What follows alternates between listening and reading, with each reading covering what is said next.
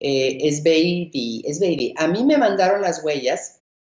o huellas para permiso de trabajo, pero no me dan fecha para sacarlas y me piden para el 8 de septiembre porque tengo mi última corte el 23 de septiembre. Mi pregunta es qué pasará con mi caso si no las presento y ya no me dan cita. Tranquila, si el juez va a proceder sobre un caso que requiere huellas digitales y no las ha podido sacar porque el mismo servicio de inmigración no le da nueva cita, entonces lo más seguro es que el juez postergue el caso y haga una continuación, porque el juez no puede determinar su elegibilidad sin ver si no tiene récord delictivo. Ahora, algunos jueces quizás por la pandemia y por apresurar los casos, a lo mejor escuchan su caso, pero le van a decir que no van a tomar un fallo final hasta que le tomen las huellas digitales digitales. Asumo que tiene abogado porque esto es en corte y todos que tengan casos en corte de inmigración deberían llevar abogado consigo.